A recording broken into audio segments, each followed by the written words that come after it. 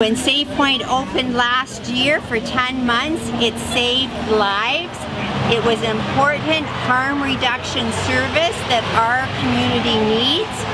From our perspective, this is an emergency and the government should act accordingly, not only in Windsor, but in other communities such as Timmins, where they are wanting to keep their injection site, their safe consumption site, services available.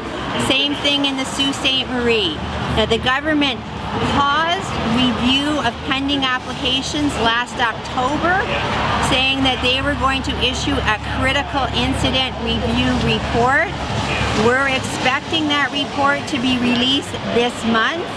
We do not know what the process will be for the review of that report and we're concerned about the continuing delay because delay means that SafePoint services are not available and we will be losing lives. We will be having people in our community suffer needless overdoses because the vital services of SafePoint are not available.